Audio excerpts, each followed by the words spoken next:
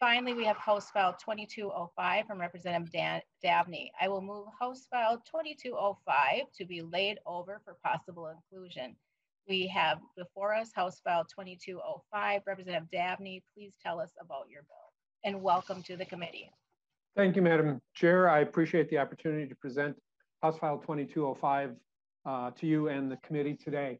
Uh, I'm pleased uh, to have this bill establishing a direct admissions pilot project.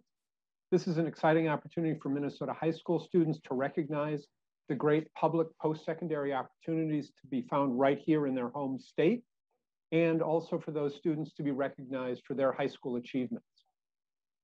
In establishing a direct admissions program, Minnesota would join other states across the country, including Arizona, Florida, Mississippi, Missouri, Montana, Texas, Illinois, Idaho, Colorado, and importantly, our own neighbors of South Dakota and Iowa.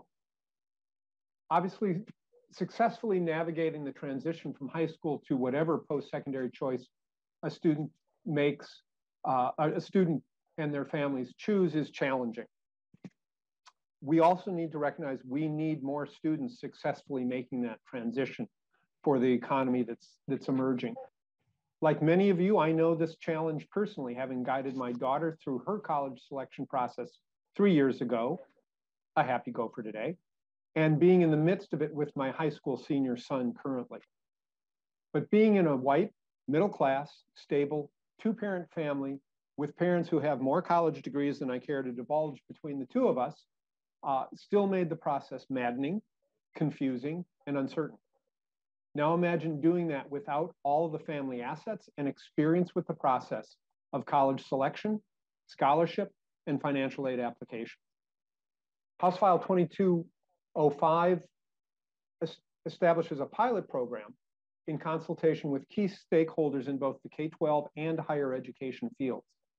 It challenges them to develop and if feasible, implement a direct admission program and, and importantly, report back to the legislature on their findings and recommendations just next year. Madam Chair, with me today is Ms. Meredith Fergus from the Office of Higher Education, who can speak uh, to the specifics of the bill uh, Re Representative Davnie, and we will move to Ms. Fergus, and we would like to make sure that we have enough time for members' questions. So thank you for being at the at our hearing today. Uh, thank you, Madam Chair, members. For the record, my name is Meredith Fergus. I am the Director of Research for the Minnesota Office of Education. It's good to see you again today.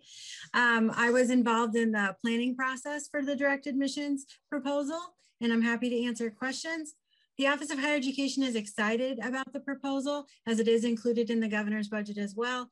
We think this is a key kind of change we can make in Minnesota to facilitate the enrollment of low-income students and students of color into our public colleges within the state and really advance the state's attainment goal as well as our equity initiatives.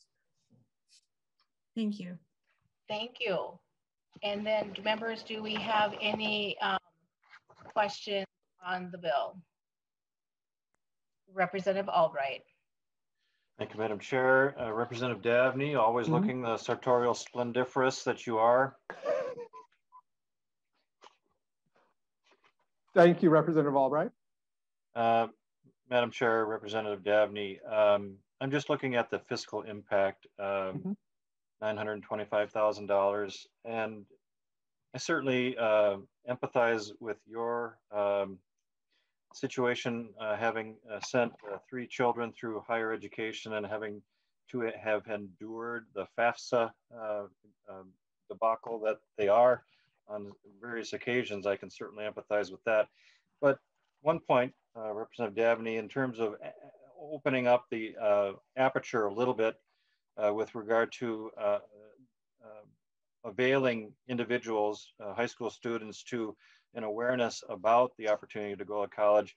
I'm struck by the opportunity that might be just prevailing us in the face with regard to not just a letter, but everyone has an iPhone or an Android. Uh, how about using some of those fundings to alert people uh, through text or an email uh, to the opportunities and to the supports that already exist, uh, taking nothing away from uh, the awareness and the approach to make sure that people are aware of uh, how to um, avail themselves of college, but um, expedite that possibly in a, in a manner that uh, is more efficient and certainly amenable to what everyone is carrying around in their, uh, their backpack or in their briefcase.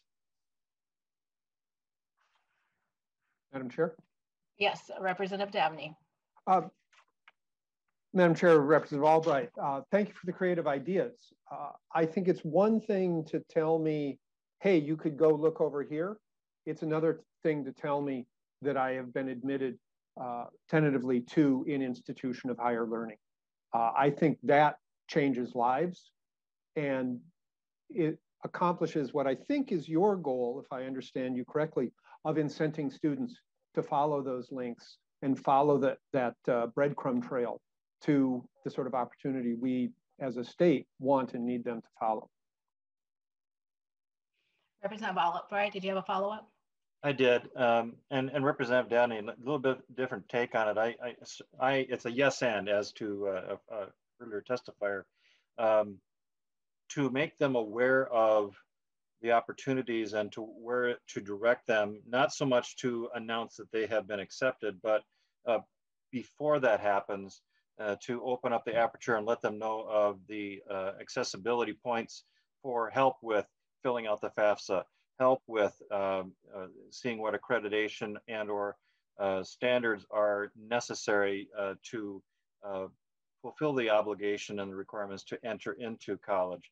Uh, so that they can seek the proper help and not be redundant. And, and if that's to uh, make an appointment with someone, uh, that that would be uh, streamlined in that regard. And, and just trying to uh, expedite it with the resources and the, the pipelines that already exist.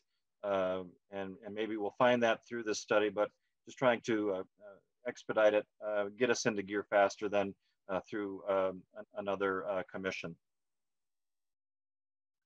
Representative Erickson. Thank you, Madam Chair. And this question is for Ms. Fergus. Uh, could you provide us with a link to two or three of these programs? And I don't know if they're pilots in other states, but uh, so that we can do a, a, con a comparison and a contrast on uh, the Minnesota proposal versus what they've done in other states. Thank you. Rep, um, Ms. Fergus. Um, Madam Chair, Representative Erickson, we'd be happy to. The primary program, which launched approximately four years ago, is Idaho Direct Admissions.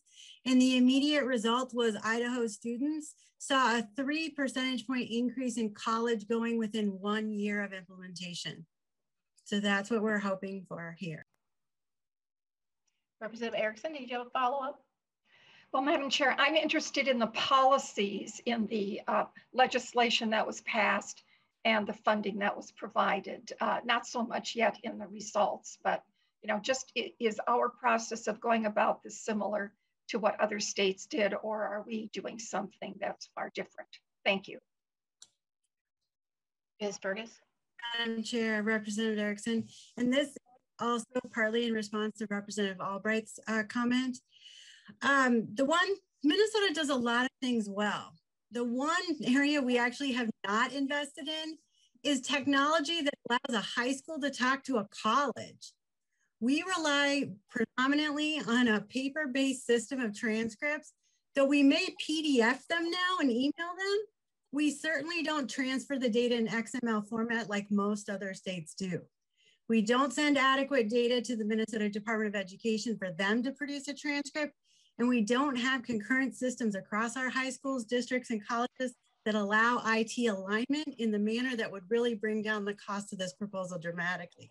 So some of that is to be expected of the cost, which is built into this fiscal note. And we're hoping that this can serve as a kind of starting point to resolving that misalignment technologically.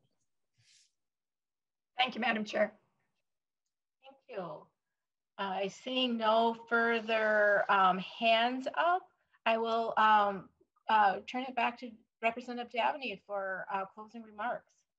Uh, Madam Chair, thank you, and, and, members of the committee, thank you for your time and attention today.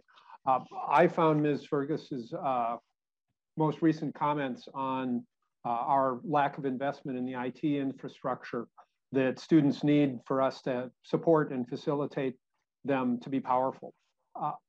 By focusing on low income and BIPOC students finishing high school successfully and helping them transition to post-secondary, uh, we help Minnesota uh, become uh, a richer state. We help it develop uh, to the next generation of Minnesotans. And I believe that's our obligation uh, as a legislature. And I hope for your support for uh, this language moving forward. and I appreciate the time and opportunity to present this bill I'm very excited about today. Thank you, Madam Chair. Thank you, members. Thank you, uh, Representative Davnie and Ms. Fergus. I will renew my motion that House File 2205 be laid over for possible inclusion in the Higher Education Finance Omnibus Bill. The bill is laid over.